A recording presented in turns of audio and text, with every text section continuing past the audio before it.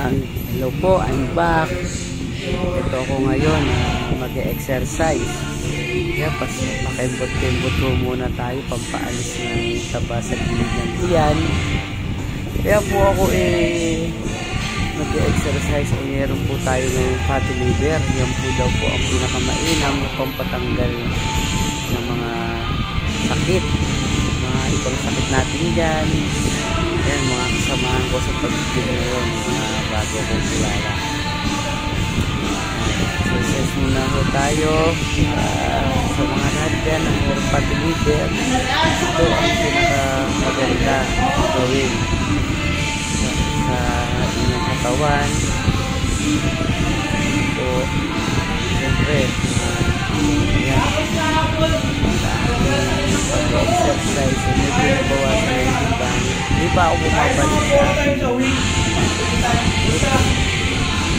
nakita ko ang aking batchmate na siya rin ang nagtuturo sa akin sa pag Natuwa kami muna sabi ko sa kanya ako kaya medyo wala hapon dahil nasikaso ako ng SS Namasal na rin kami ng aking asawa. Kaya po tuloy lang ang exercise habang nagkukwentuhan kami dalawa tapos sabi nga niya bahay niya medyo malaki na ang katawan niya medyo nabawasan na rin yung timbang ko.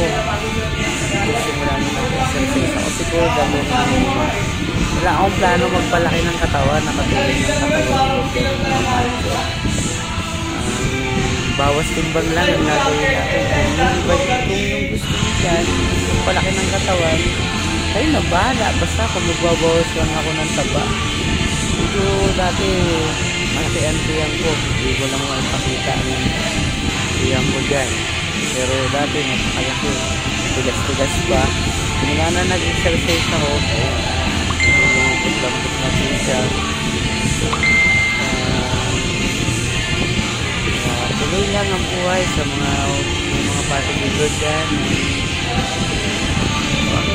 Pero ano lang dire-diretso lang ang gagawin. Pupulo pa ako kasi may nakakapagod eh. Yan. Pa tayo ating lutas-lutas. Pinuta ko ang. Nagtatala ako.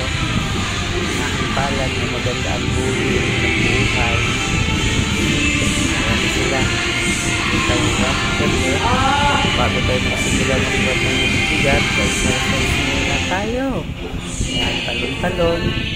dốc thì dốc thì dốc em dốc mà thật cái là patini đẹp patini đẹp là em mà tăng cái là nó mà hiện tại đang bahagia dốc dốc dốc dốc dốc nó cứ tục tục tục tục đó thì kita berhubungan dengan Tuhan.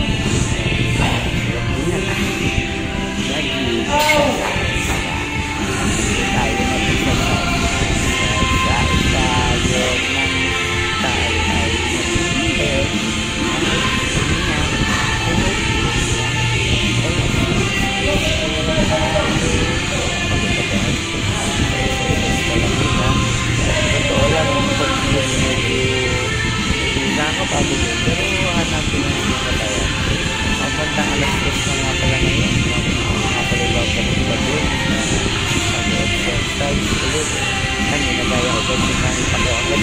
po. Pag-subscribe. Ng aming vlog.